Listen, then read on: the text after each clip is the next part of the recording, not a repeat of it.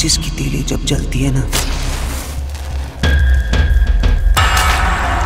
तो शुरू में उसके आग में कितना एरोगेंस होता है। अहंकार जैसे कि पूरी दुनिया को जला देगी। फिर धीरे धीरे उसे अपनी औकात पता चलती डर के मारे खुद जलने के लिए फड़फड़ाती है। बुझने से पहले एक आखिरी बार भड़कती है। फिर बुझ के राख हो जाती है।